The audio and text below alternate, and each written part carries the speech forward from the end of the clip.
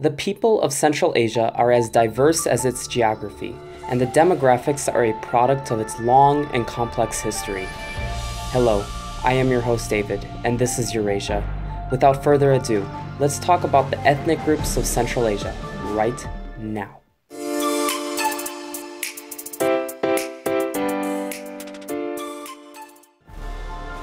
Central Asia, defined differently by many, will be defined in this video to include the countries of Kazakhstan, Kyrgyzstan, Uzbekistan, Turkmenistan, Tajikistan, and Afghanistan.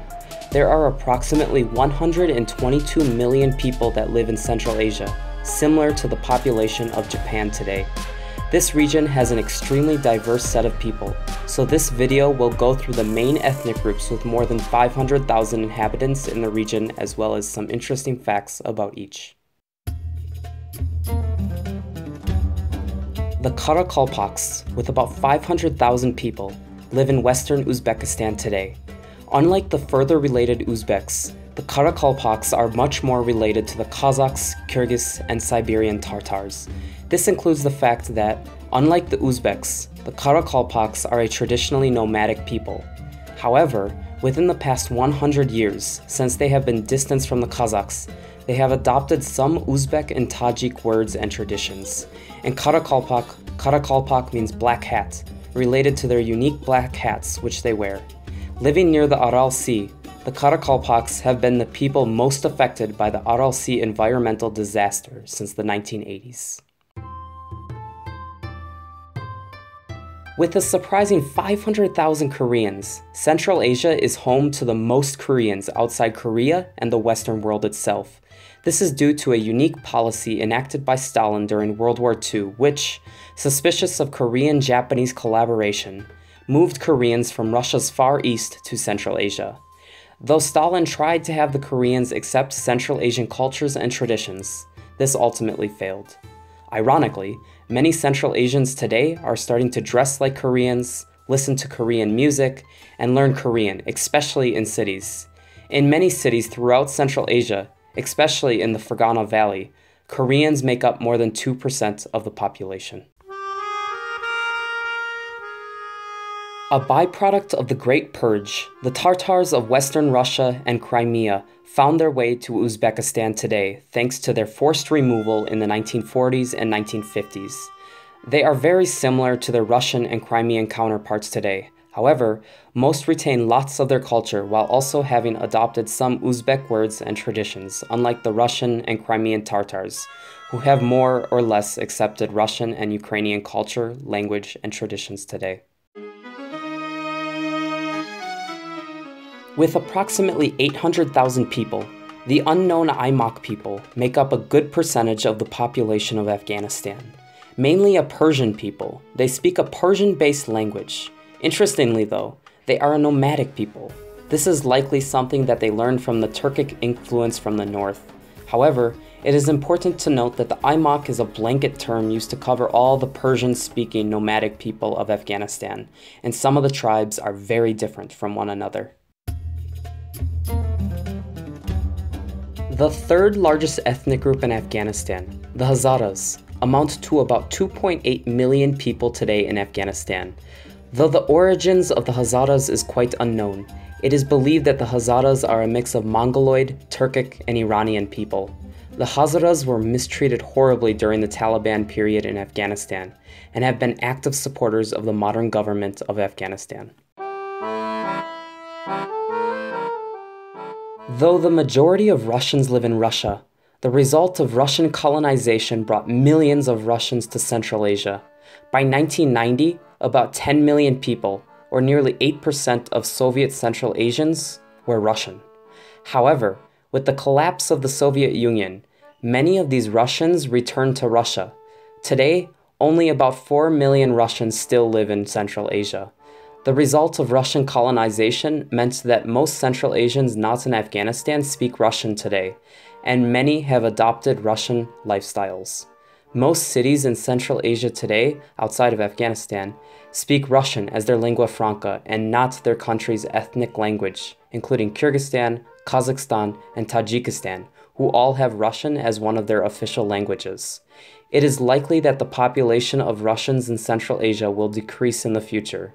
The Russians are also the largest non Muslim population of Central Asia. The Kyrgyz people, with about 5 million people mostly located in Kyrgyzstan, are the first people group in this list that have their own country in the region. Kyrgyzstan, or literally home of the Kyrgyz people, is home to about 7 million people in the east of Central Asia, where about 4.6 million of the Kyrgyz people live. Another 250,000 live in Uzbekistan, while the rest live in other places around Central Asia. The Kyrgyz people are closely related to the Kazakh neighbors to the north and are traditionally a nomadic people. Due to their nomadic past, the Kyrgyz people are known to eat lots of meat and dairy products. The Kyrgyz people are also well known for their unique hats, called kolpaks, that represent the tall snow-capped mountains of the traditionally Kyrgyz lands. On the other side of Central Asia, the Turkmen have their own country in the form of Turkmenistan. There are nearly 5.5 million Turkmen in Central Asia, where about 5 million of them live in Turkmenistan. The other 500,000 are split evenly between Afghanistan and Uzbekistan.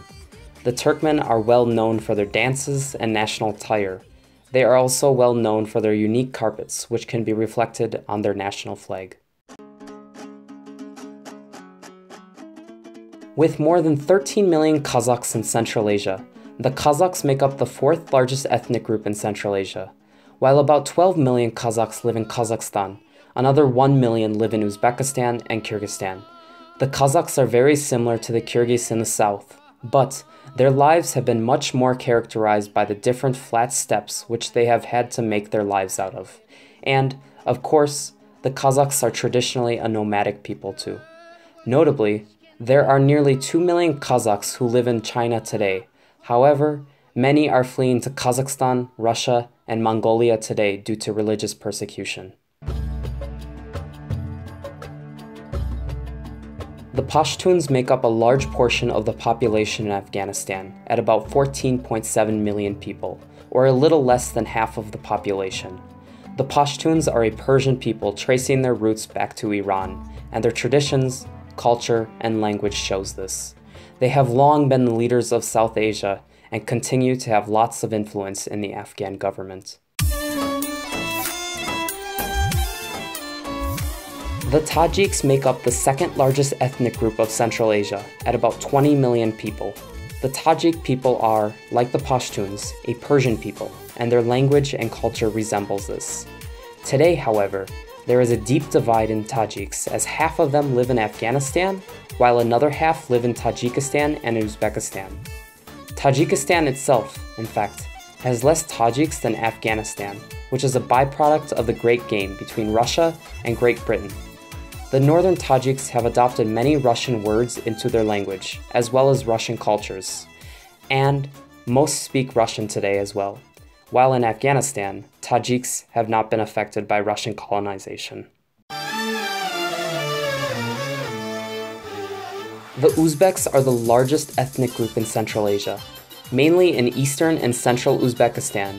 The Uzbeks number to about 35 million people, Approximately 27 million Uzbeks live in Uzbekistan, while another 4 million live in Afghanistan. There are about 1.5 million Uzbeks in Tajikistan, while another 1 million live in Kyrgyzstan, with another 750,000 in Kazakhstan and 300,000 in Turkmenistan.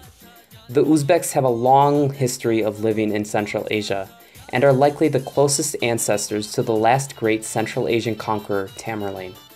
Their food has been adopted by many of the other surrounding people groups due to its amazing flavors, and their national clothes and dances are known all around the world. Within every ethnic group of Central Asia, there is an amazing and beautiful culture waiting to be found. Each group has their own unique culture, their own unique music, their own unique national dress, their own unique language, their own unique food, and so on and so forth.